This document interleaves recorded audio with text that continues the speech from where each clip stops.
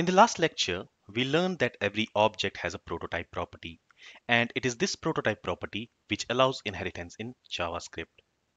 Now, when you want to make a property or a method inherited by other objects, in order to do that, you will have to add those properties and methods to the prototype property of the object. And this is what we learned in our last lecture. In last lecture, I also mentioned that this person object, which we have created using this function constructor, is also an instance of some other object. Now, which is that object? That object is the object constructor. So when we are instantiating this John, Mary, and Steve objects, these objects are instance of this person object. And this person object is an instance of object object. Okay, let's understand this. So whenever we create an object in JavaScript, let's create a very simple object. Let's call it mark. Okay, now this mark object is going to have three properties. Let's say name, name is mark. Let's also have birth year property. And let's say mark was born in 1992. And let's also have gender property and mark is male. Okay, so here we are creating this mark object using object literal. Now, whenever we create an object in JavaScript using object literal, in that case, that object is by default an instance of object constructor. So behind the scenes, this object will be created by JavaScript using this new object constructor. Okay, so it will be created something like this. Now this new object constructor, as we have learned, it creates an empty object, right? Once this empty object is created, these three properties which we have specified inside this object literal that will be created for this mark object, something like this. Okay, so the point here note is that every object which we create in JavaScript is directly or indirectly an instance of object constructor. And to prove that this mark object is actually an instance of this object constructor, in the developer console, let's type mark and we have a prop, you know, a an operator called instance of. This instance of operator returns true if the object in its left hand side is an instance of an object on its right hand side. So in the right hand side, let's say object.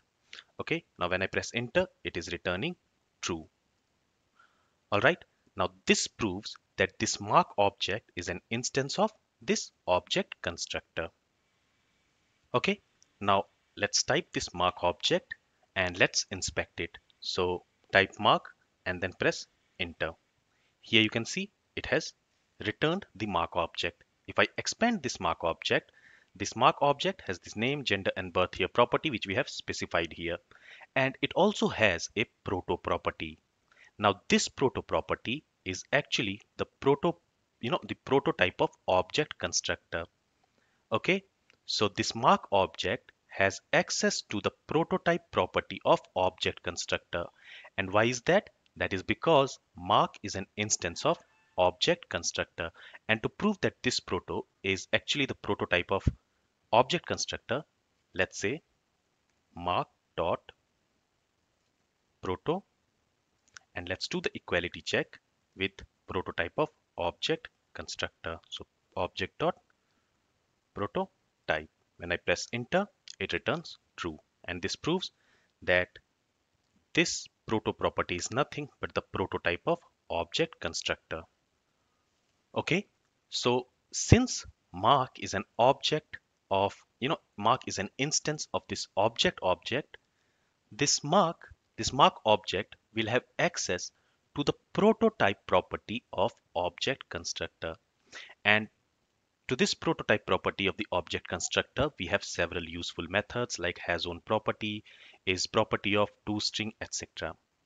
And since mark is an instance of this object constructor, this mark object will have access to this prototype property of object constructor. That means you can call any of these methods on this mark object. Let's see this with an example. Okay, let's clear this console here. And on this mark object, let's try to call this has own property method. Now this has own property method is present in the prototype of object constructor. So let me log this mark object again. Okay, if I expand this, this proto property of this mark object, here you can see it has this has own property and this has own property is present in the prototype of object constructor. And since this mark is an instance of this instance of object constructor, it, it has access to the prototype of object constructor. And that's why we are able to call this has own property on this mark object. And to this has own property, we also need to pass a value. So let's pass name. Now, this mark object has a name property of its own. So when we have a property and when we pass it to the has own property, if it is own property of that object on which we are calling it, this has own property method will return true. Otherwise, it will return false. So let's log the value returned by this has own property in the developer console. Let's save the changes and here you can see it has returned true. Okay, so what I want to show here is that here I'm able to access the methods which is present in the prototype of object constructor and I'm able to access it on this mark object. Why is that? That is because mark object is an instance of object constructor. Okay, so any object which we create in JavaScript is directly or indirectly an instance of object constructor. All right, now same is the case with this person object. We have learned that a function is also an object in JavaScript. And here, using this syntax, we are creating a constructor function. Okay, so this person is a constructor function and this person is also an object. Okay, so when we create a constructor function like this, it also inherits from the object constructor. I mean, it, it is also an instance of the object constructor. Okay, so this person function constructor is also an instance of the object constructor. And to prove this, let's say, let's again use the instance of operator. So person instance of okay instance of object. Let's press enter and it has returned true. And this proves that this person is also an instance of object constructor. All right.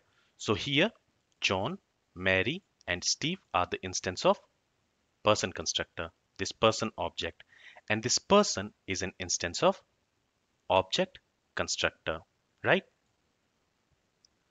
Now, because of this, since this person is an instance of object constructor, this person object has access to the prototype of object constructor. That means we can use any of these methods which is attached to the property of, I mean, prototype of object constructor on this person constructor. Also, this John is an instance of person constructor, person object. Okay, so this John object has access to the prototype of person object or person function constructor. And this person object has access to the prototype of object constructor. So because of this prototype chaining, this John object will also have access to the prototype of object constructor. Okay, that means on this John object, we can call any of these methods which is attached to the prototype of object constructor.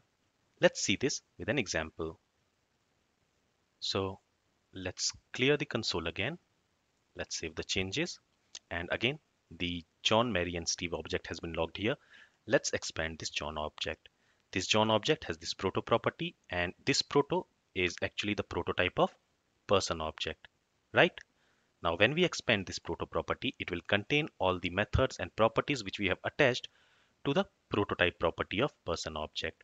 So this calcage and this city is attached to the prototype of person object. And that's what you see here.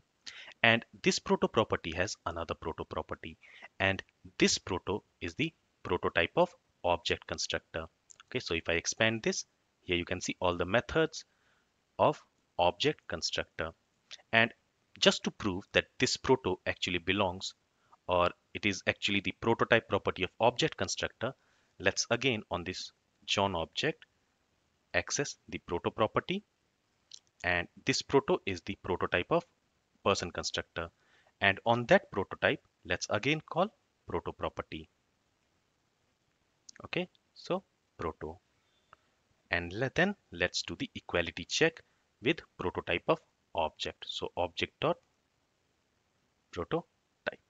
When I press enter it is returning and this proves that this proto is actually the prototype of object constructor. And because of prototype chaining whatever methods we have inside the prototype property of object constructor we can call it on this John object.